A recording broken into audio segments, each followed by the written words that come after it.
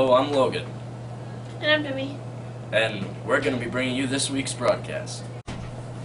First, we're going to be talking about Raider Life, where myself and Maddie Hartford got the chance to interview a few people who went on the Quebec trip.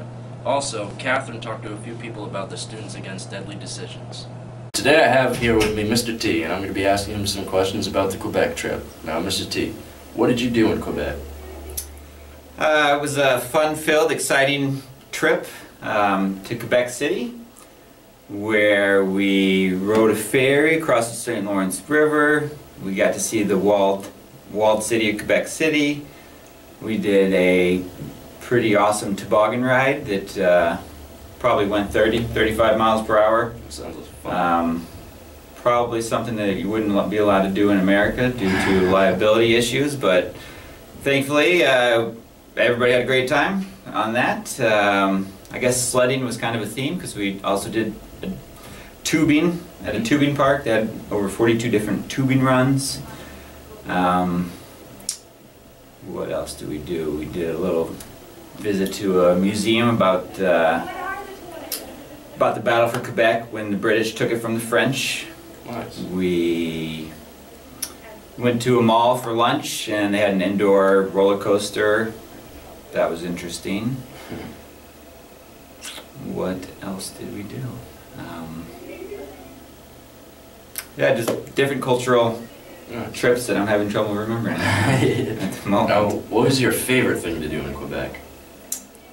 Uh, it's hard to put a finger on any one thing. I mean, I just enjoy the experience of it. It's kind of like, obviously, a, a way different culture than here in America. So it's, I kind of equate it to Europe.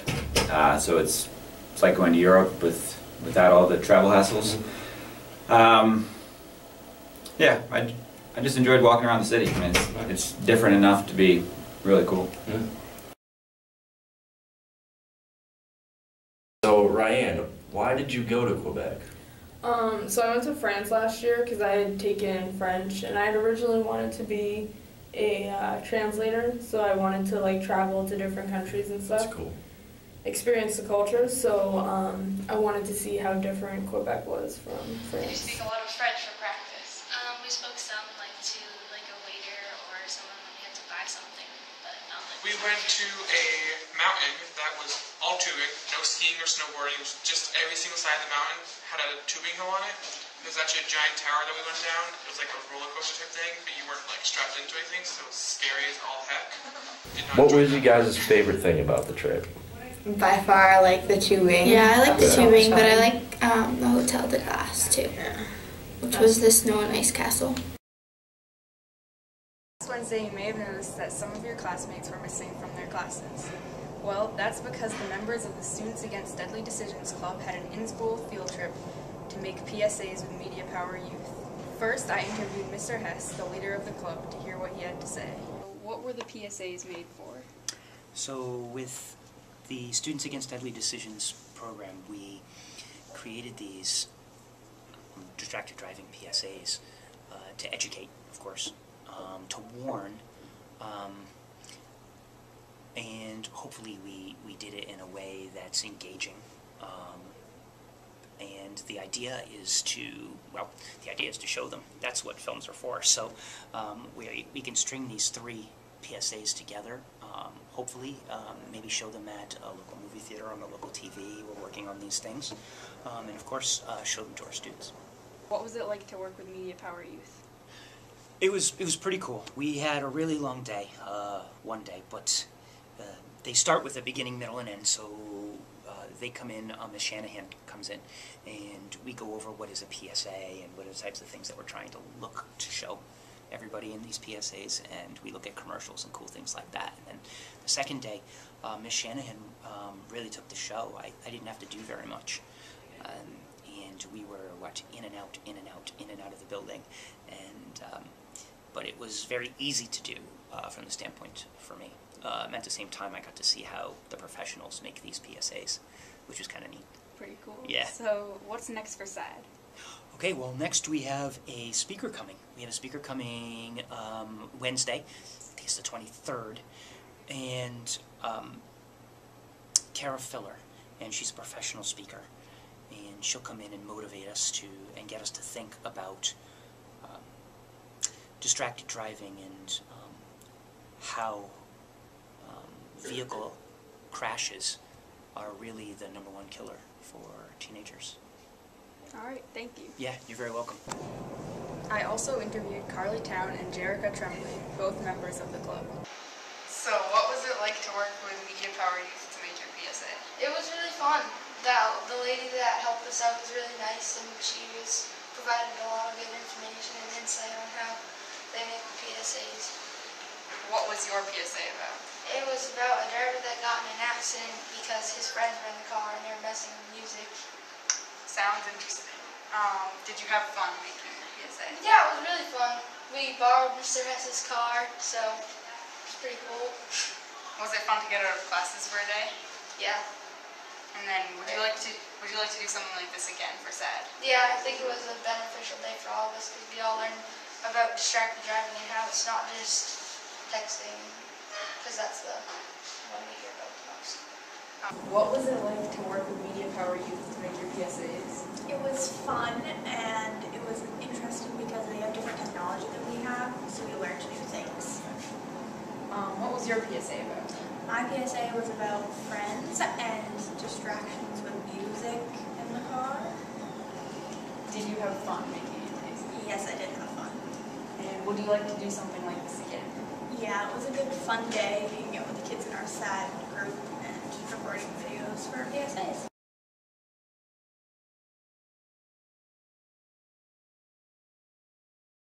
Hey, do you want to do something?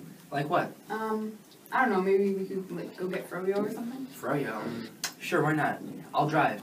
I think we should ask Carly if she wants to come. Uh, she lives just down the road. I'll show you.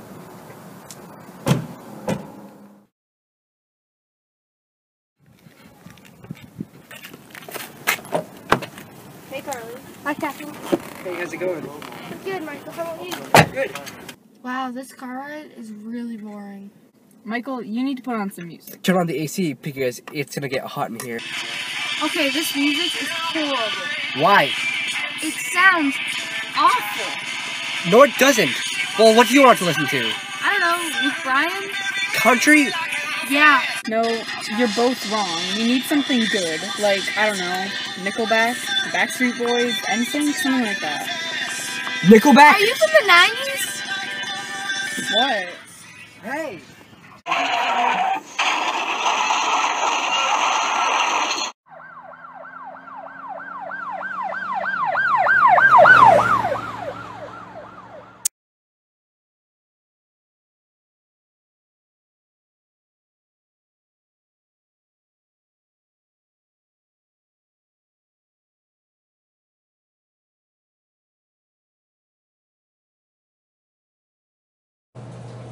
Uh, Thanks. Uh, now to Emily taking us on a tour of College Corner.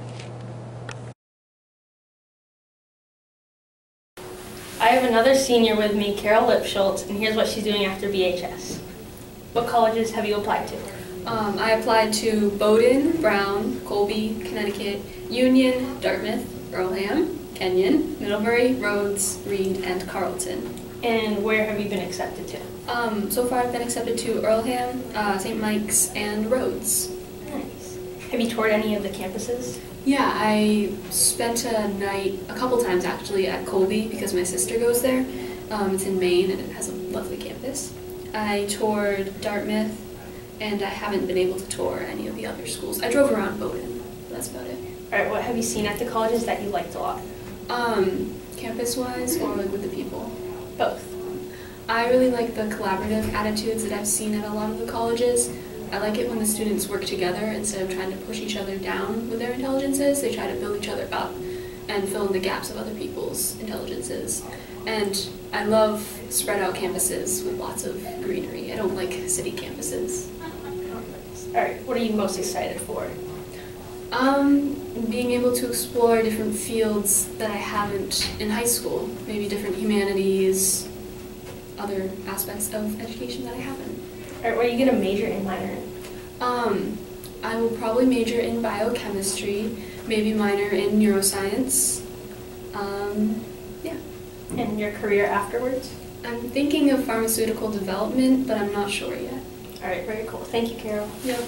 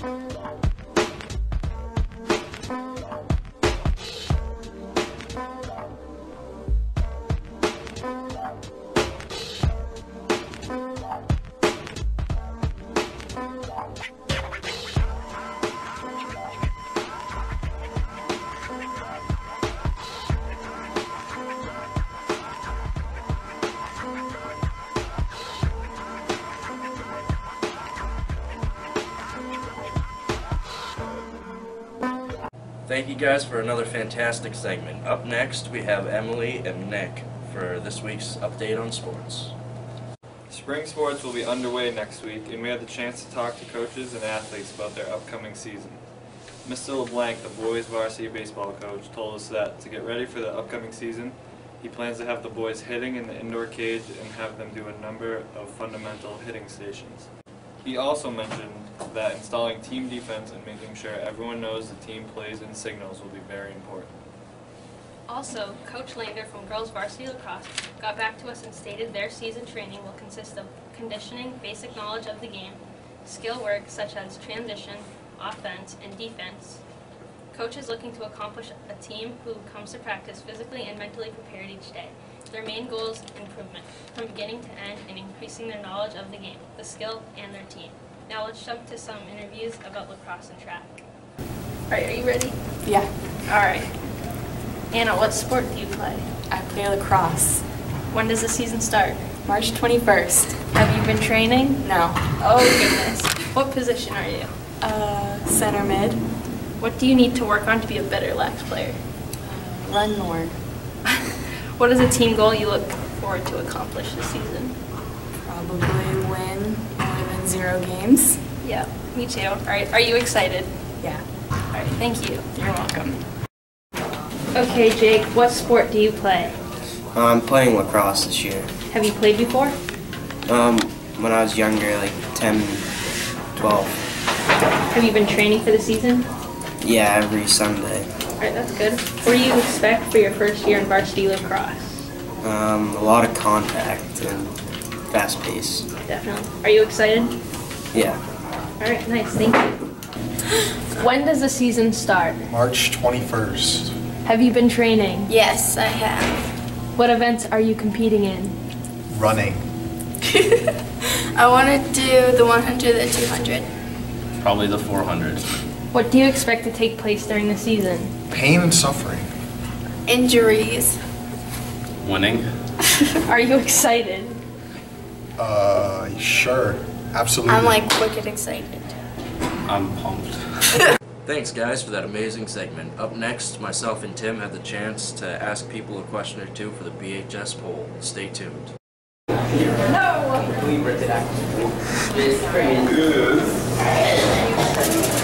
Mrs. Downey, if Hi. you could have any superpower in the world, what would it be? To be invisible. Well, you heard it here first at the BHS broadcast. Eternal youth. Flying. Obviously, you're uh, like. Well, I mean, who doesn't want to fly? Emma Chase. Emma Chase, if you could have any superpower in the world, what would it be? Hmm. Super speed. That's a good one. Miss Hamilton, if you could have any superpower in the world, what would it be? If I could have any superpower in the world, I would want to be able to transport myself like that to anywhere I wanted to go. Nice. You could have any superpower in the world, what would it be? I would have, I don't know. Um, Oh shit. what is it called when you're like invisible? Invisible. Invisible. If I had a superpower, I guess it would be teleportation. Would you use it for good or evil? Good. Mr. McNabb, if you could have any superpower in the world, what would it be? Read minds. Nice. and always know what's happening. Yeah. DeLuca, Logan Clough. if you could have any superpower in the world, what would it be? The power to have any power. Yeah. Well, alright. So, Miss Ruby, what superpower would you have if you could have any? I would like to have super healing power, and with my super healing power, I want to have x ray vision so I can tell if any students have broken bones. That's a good, that's a good power. So, Keegan, what power would you, superpower would you have if you could have any? A super speed. Good power.